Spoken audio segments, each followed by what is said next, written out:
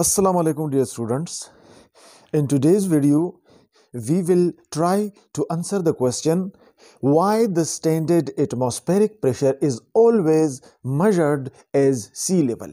जब कभी हम स्टैंडर्ड एटमॉस्फेरिक प्रेशर की बात करते हैं तो हम कहते हैं कि सी लेवल पे ये इतना होता है। ये सी लेवल हम क्यों मेंशन करते हैं? सी लेवल पर मेंशन करने के पीछे ऐसा क्या लॉजिक है जो हम हमेशा स्टैंडर्ड एटमॉस्फेरिक प्रेशर के साथ सी लेवल को मेंशन करते हैं?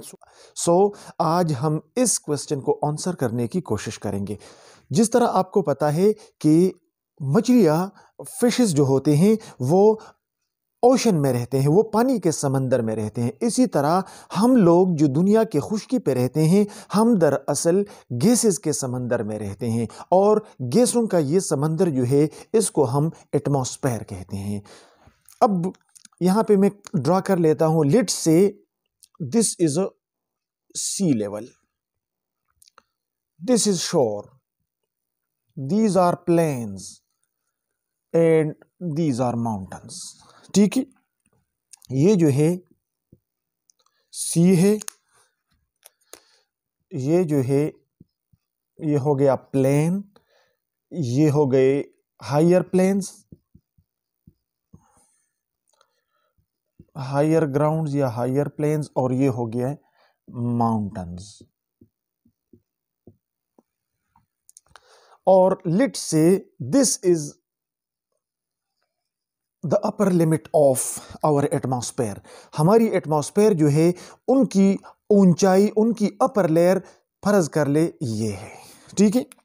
अब यहाँ पे बोट में सी लेवल पे बोट में एक बंदा बैठा हुआ है, या फिर यहाँ पे शोर्स पे एक बंदा बैठा हुआ है कड़ा है।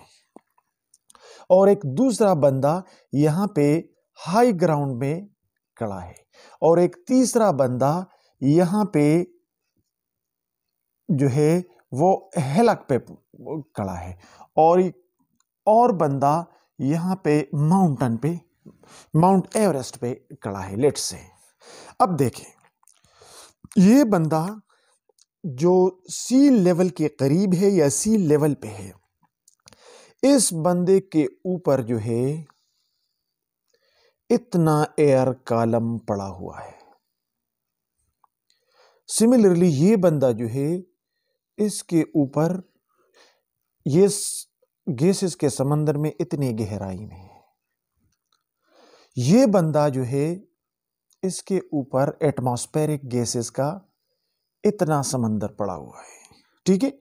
ये बंदा जो है, इसके ऊपर इतना गैशियस कॉलम है।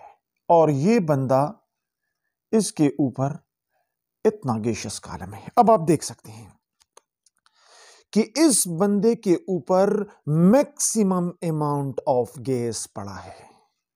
सिमिलरली इस बंदे के ऊपर मैक्सिमम अमाउंट ऑफ़ गैस पड़ा है। इस बंदे के ऊपर गैस की मकदार थोड़ी कम है, यहाँ और भी कम है और यहाँ और भी कम है। अब हमें पता है we know that pressure is force per unit area.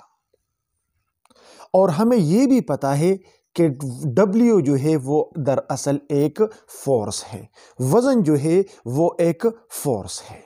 लिहाजा इस इक्वेशन वन को हम इस तरह लिख सकते हैं कि P is equal to W by A अगर एरिया कांस्टेंट है और W वज़न इंक्रीज होता है तो प्रेशर बढ़ेगा। और अगर एरिया कांस्टेंट है और वज़न डिक्रीज होता है तो प्रेशर घटेगा। अब यहाँ पे देखें इन दो बंदों के ऊपर बहुत बड़ा हवा का कालम पड़ा हुआ है। यानी इस कालम में जितनी भी हवा है, वो अपनी वज़न के मुताबिक इस बंद इन दो बंदों पे प्रेशर एग्जर्ट करता है। तो यहाँ पे सबसे ज़्यादा प्रेशर एग्जर्ट होगा।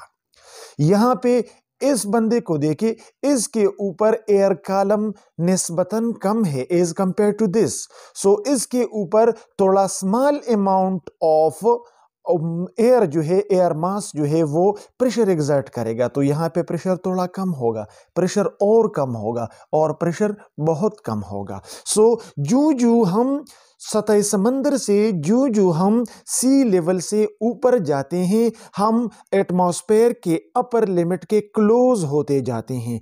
और एटमॉस्फेयर का हमारे ऊपर जो एयर कॉलम होता है, उसकी मास जो है, उसकी अमाउंट जो है, वो कम होने लगती है। और as a result of that हमारे ऊपर एयर वेट कम होने लगता है। लिहाजा weight per unit area is actually pressure so हमारे ऊपर प्रेशर घटता जाता है जो जो हम ऊपर चले जाते हैं सी लेवल से। अब सी लेवल दुनिया का लोवेस्ट ग्राउंड होता है, क्योंकि पहाड़ों से, मैदानों से, हर जगह से पानी बहता हुआ सी में आके गिरता है।